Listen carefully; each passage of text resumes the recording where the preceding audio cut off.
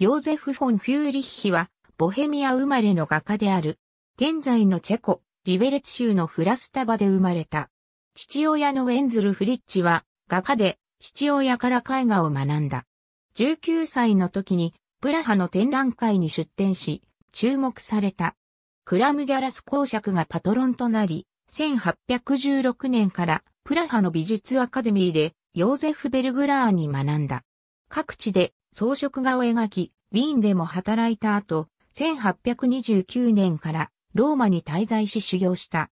ローマではナザレ派の画家、ヨハン・フリードリヒ・オーファーベックと知り合い、彼らとマッシモ公の屋敷の装飾画を描いた。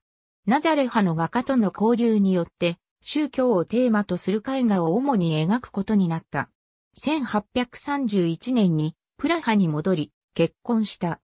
1834年にウィーンに招かれ絵画館の責任者に任じられ、エドアルト・フォン・エンゲルトと共に1838年にベネツィアなどを訪れ、絵画館のための美術品を買い入れた。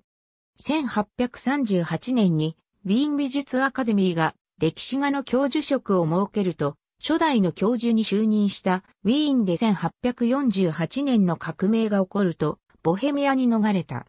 1851年にウィーンに戻り、教授としての仕事を再開した。フランツ・ヨーゼフ一世によって、1861年に爵位を得た。ウィーンのシュテファン大聖堂のステンドグラスの仕事をした。後、1872年に引退した。75歳の誕生日に、ウィーンの名誉市民の称号を得た。ウィーンで亡くなった。ありがとうございます。